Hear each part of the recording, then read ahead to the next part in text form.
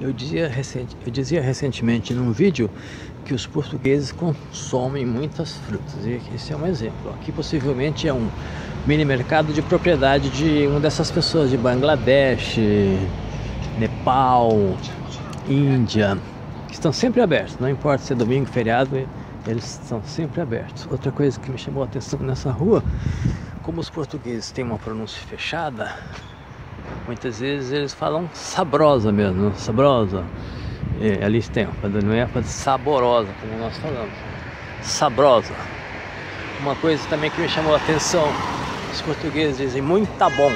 Não sei se eles consagraram como uma coisa gramaticamente certa, dizer muito tá bom, ou se é uma brincadeira.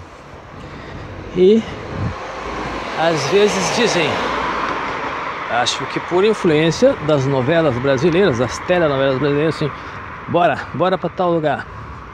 Que isso também é uma coisa recente no Brasil. É por decorrência das novelas de cunho nordestino, aquela pronúncia lá do Nordeste do Brasil.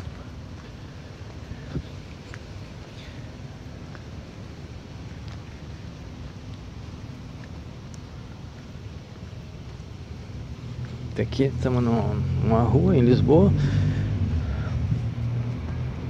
nas proximidades de Arroios, ou até em Arroios, num domingo de verão. Aliás, verão está se aproximando do fim para entrar a primavera.